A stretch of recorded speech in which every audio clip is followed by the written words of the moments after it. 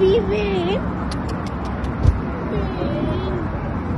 just pulled off the road to get this little guy. He's in fucked up shape. Man, man. Man, chiquito. It's a very busy highway in Rosarito.